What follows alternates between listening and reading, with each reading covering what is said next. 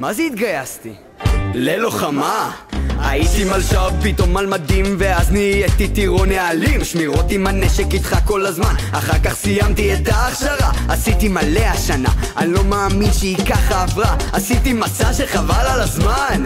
כבד, ארוך ישנתי בכל מצב עשיתי מלא מטווחים עשיתי אימון וסגרתי חגים כשעשיתי תמונה בבסיס עם הרמטכ"ל אמרו לי תראה מה תהיה שתגדל החבר'ה אמרו לי מה כבר עשית? אבל וואלה אני צחקתי אמרתי אתם לא מבינים שום דבר? כי אני את שלי עשיתי, עשיתי, עשיתי, עשיתי, עשיתי, עשיתי, עשיתי, עשיתי, עשיתי, עשיתי, עשיתי, עשיתי, אה, גלית בצה"ל מציגים נתונים חדשים אודות שיעורי הגיוס לצה"ל וליחידות הלוחמות, ציוני הגיוס הקרבי, בוגרי החינוך הדתי, העיר המובילה בארץ היא גבעת שמואל, שם 90% מתגייסים לצה"ל, העיר המובילה בקרב נשים היא נס ציונה, שם התגייסו 91%, דירוג בתי הספר המובילים בגיוס בנים, ישיבת בני עקיבא סוסיה במקום הראשון.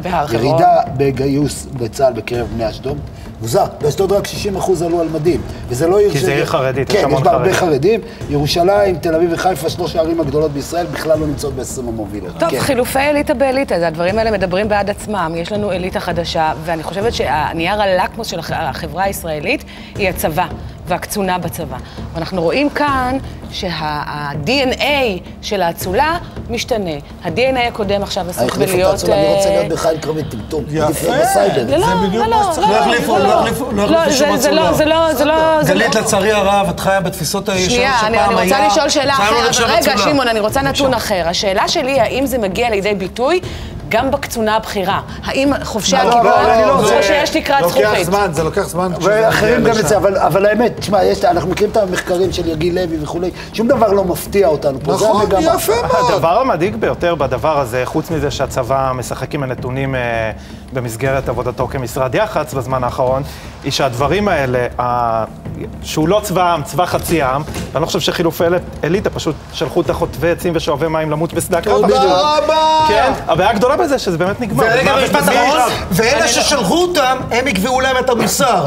אנחנו. לא נלך לשם, לא. אתם תלכו להילחם המזרחים והדתיים, ואנחנו. נקבע לכם את מוסר אף אחד המלחמה לא שלכם. קובע להם את המוסר. הטענה היא שאין להם. מוסר. אין להם מוסר. יפה, זה ואנחנו סיפור נגיד אחר מה לגמרי. לעשות. מצבא העם לצבא הפריפריה. הספר של יגיל לוי הוא ספר חובה לכל אזרח במדינת ישראל. תראו איך הוא רואה את אגב, אני, אומר דבר אחר, וזה יגיל לוי לא אמר. צה"ל הופך לצבא של קאסטות. יש קאסטות לקרבי, יש קאסטות, בתוך הקרבי יש קאסטות מי הולך לצנחנים, מי הולך לסיירות, מי הולך לכפיר. אבל אתם מדברים פה גם על קצונה, אראל, זה לא רק מי הולך בסדר, לכפיר. אבל לא מעניין אותי, אני אגיד לך משהו. בסוף, בסוף, בסוף, עדיין, בסוף, עדיין להיות בסוף- קצין במדינת ישראל זה סמל סטטוס, עדיין. אבל... אין קצין דתי אחד היום במטכ"ל. אין. בדיוק.